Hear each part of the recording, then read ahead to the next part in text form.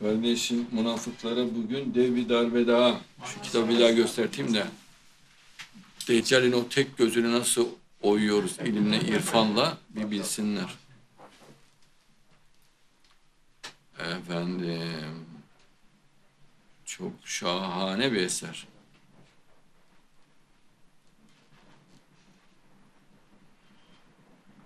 İngilizlerin devletinin ahlak sistemindir aynı zamanda münafıklık. Yani onların yetiştirdiği alçaklar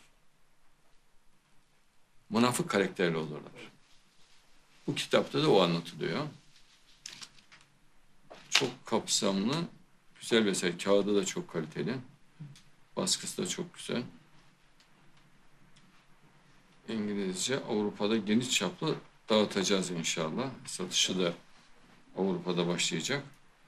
Münafık hastadır. İngilizlerin devletinin hastalandırdığı manyaklardır.